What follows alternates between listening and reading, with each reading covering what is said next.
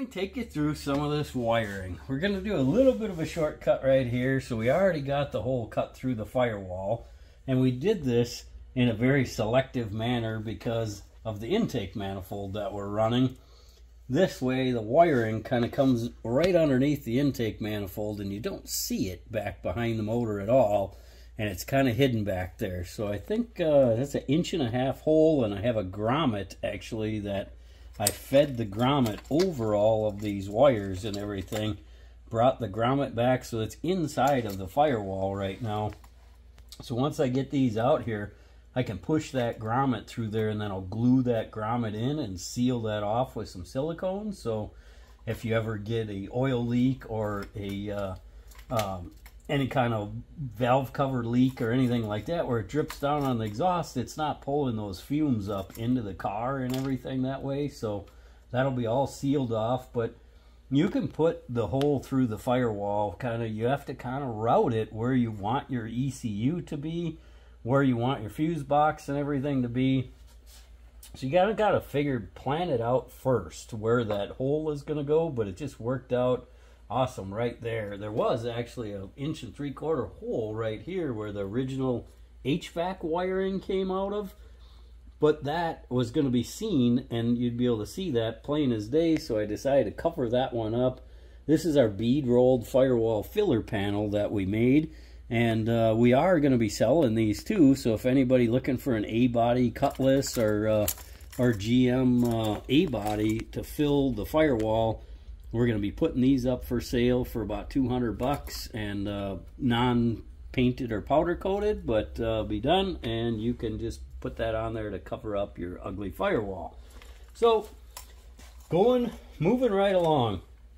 When I said about the wiring harness is not so scary, it's really, really easy to lay this stuff out and uh, and to the point where it just makes sense. So this is our transmission plug, and this one uh, is going to get a uh, uh, the 4L60, so it only has one speed sensor wiring. So our transmission plug is all by itself and everything. So that we can fish down along where our transmission is going to get hooked up to and everything. So we'll kind of feed that down and um, and of course, that's not going to go down in there now. All right. So we can kind of get that pushed down in place. The biggest thing that you're going to need to worry about, and you, it is such a common thing with these motors for people to do, and this harness is kind of excluded from that, honestly, but, uh, but is the ground wire. So from the factory, it has a ground wire hooked up to the back of the cylinder head right here. And then it also has another one on the passenger side. Also, a lot of people hook up one ground and the other one just gets dropped down behind the motor and they can't figure out why their motor doesn't run and everything. And especially once you put the intake manifold onto it.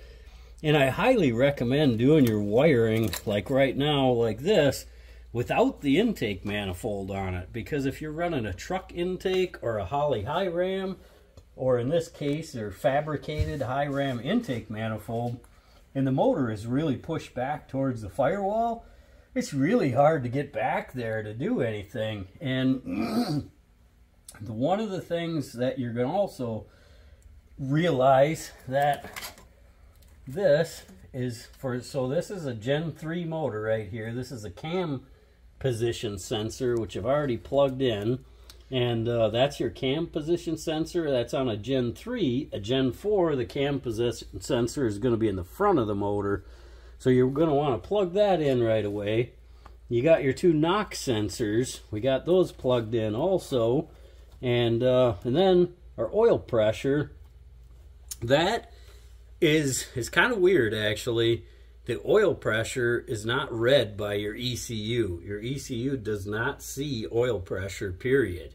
And that is all separate completely. So your gauge, whatever you're using for a gauge, whether it be the factory gauge cluster or you're running a Dakota Digital, like in this case, So in this case, we have our Dakota Digital sending unit that is in the back of this. So before the intake manifold goes on now, that gauge is going to be hooked up and we'll we'll route the wires in this factory harness uh, for the motor.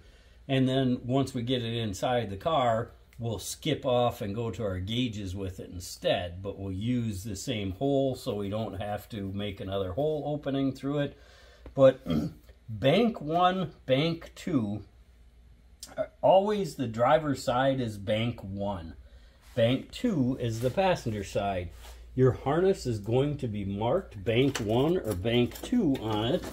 And, uh, and if it's not, or you're questioning it whatsoever, this is going to be your context clues right here. So if, like with this one, this is bank one right here, and uh, and I know that instantly without even reading a label that this is bank one because this has our throttle position sensor. This has our alternator wire right here. I could recognize that right off the bat.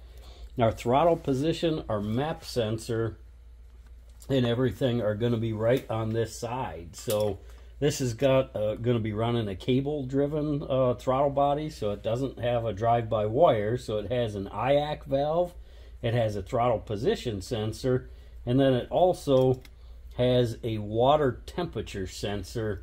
And that water temperature sensor is going to go behind the head right here, and it's going to hook up onto this other side of the uh, spark of number one spark plug wire, and it plugs in right here. The alternator plugs in right here. Your throttle position sensor and your IAC valve are right here. Your coil pack wiring, boom, look at that. Remember I told you it kind of lays right in place? Look at this. You can't plug these in wrong. This is just going to be injector 1, injector 3, injector 5, injector 7. Bing, bang, boom. Walla walla bing bang. So now we go over to bank 2 same thing. You look at that. Our coil harness just is almost right into place. You know, it, it, you can't plug the stuff in wrong here.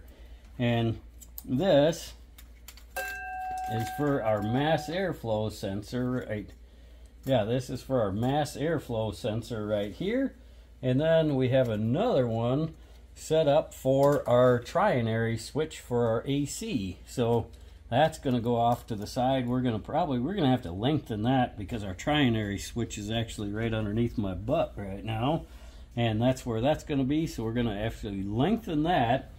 But there is another thing that I just noticed also when doing this. There is two wires that we are missing out here that I'd like to mount our fan relays underneath the hood here and uh, and have the fan relays out here so the fan relay wires must be inside of the car right now. So we're going to probably move those out here put a relay out here. Um, but it doesn't necessarily need to be that way. You can run your relays underneath the dash if you want to. So it'll trigger on fan 1 fan 2 fan 1 will come on and the this is all in your computer programming though. You can turn the fans on and off at whatever temperatures that are programmed that you want to be programmed that way also. And then the trinary switch like we were talking about for the air conditioning, as soon as the air conditioning is turned on on the vintage air, it will turn on both cooling fans automatically right away. So otherwise, one of them will work uh, when the fan one is triggered on. If the temperature keeps climbing, then the ECU will trigger on fan 2 and that's all done by the one wire over here that I told you with the uh, uh, that goes into the temperature sending unit that's in the head itself. So that's a factory sending unit factory wiring going to the ECU and everything that way. And that tells the fans when to trip on and off. But that's basically it in a nutshell. And I skipped one wire that are two actually.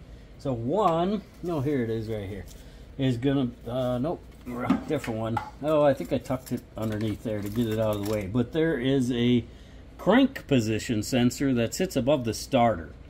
So let me just go through that real quick with you.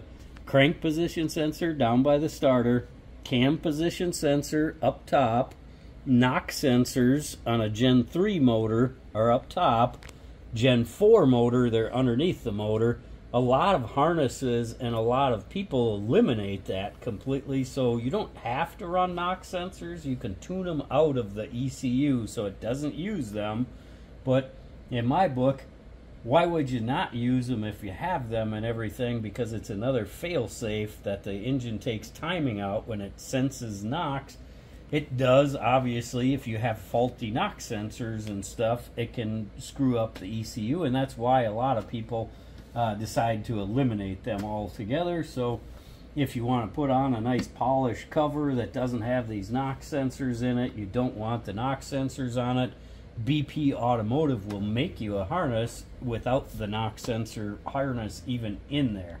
But if you decide you just don't want to do that, you could have the harness made also and you could just unplug the knock sensors it has to be tuned out of the ECU or it'll set off fault codes if it's not plugged in though. So so keep that in mind. You can run without the knock sensors, but there we go. Crank position sensor, cam position sensor, oil pressure sending unit, knock sensors. You got your bank 2, which is passenger side, bank 1, driver side. You got your coil pack wiring, injector number eight, six, four, and two right here. So they all go into one spot.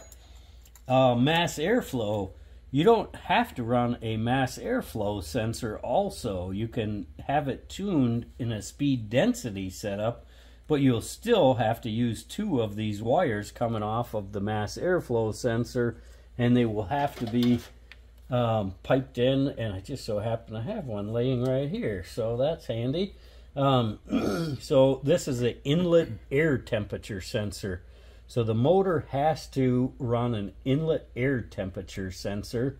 And, uh, and there's another one that I forgot to say is the uh, manifold pressure sensor.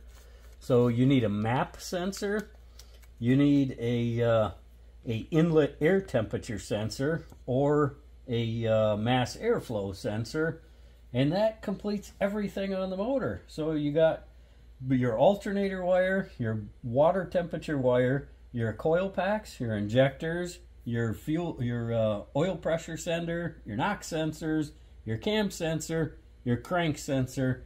That's all you have to hook up. None of them can go in wrong. You can't plug the mass airflow sensor into the throttle body. You can't plug the only thing that you can do is you can mix up, and a lot of people do this, bank one and bank two, and you get those mixed up. Also, a lot of people only hook up one bank of grounds. This harness is actually bundled together, so it only has one ground spot, but most of them have two, so keep that in mind. The first thing you're going to want to do is when you poke that harness through there is hook your grounds up right away. Don't forget to hook them up. Make sure, one, you have a clean, if your block is painted and everything, and you hook that up on there and tighten them up, you could possibly have a really bad ground and you're going to really have a bad time trying to get your motor running when you don't have that ground on there. It will mess with your brain to the point where you will hate LS motors. and You'll put a dang carburetor on it because your ground wire wasn't hooked up. And when you hook those up, I always use star washers like this. So a star washer digs in, so if your heads are painted or if you have corrosion onto the back, always, always I use star washers. That puts that on there, you put that in there, you tighten it up, it bites into the head. And then also you're gonna want a good ground going from your motor to chassis as well. So Grounds are super, super, super important on anything injected. It will just mess with your brain beyond belief if you don't have a ground or if you have a bad ground connection or Another thing that I've seen quite a few times now, and I've had this problem a couple of times, especially when you're putting an older harness in, is when you hook up that ground, and especially if your intake manifold and stuff is on, and you're doing that blind, you put that in there, you get your bolt in there, and you start tightening it up, and when you tighten it up, it breaks the connector right here where the wires just pull out just ever so slightly and you will have an intermittent ground problem that sometimes it works, sometimes it doesn't. Sometimes it works, sometimes it doesn't. And you'll jump off a bridge because of that. So that's why I said before you put your intake, this is exactly how I would go about doing it every time. You get your wires through the firewall here before you put the intake manifold on, you hook your grounds up, you get your oil pressure sending unit hooked up, and that's how I would go about doing this. That's the just of the motor bay portion of, of getting all this hooked up. We're going to actually take you through another one of getting the ECU mounted and everything hooked up into the car, but that's going to be in another video, so don't forget to stay tuned for that one. We'll get that one all ready for you. And hopefully you guys are all learning something and you're going to make this LS swap thing happen. It's worth it, people. Don't forget to like this video. Click like, throw me a comment, let me know what you think. Ring the bell for those notifications when we get a new video. We got lots more coming up, guys. A lot of cool stuff coming up. I hope you guys are enjoying the ride.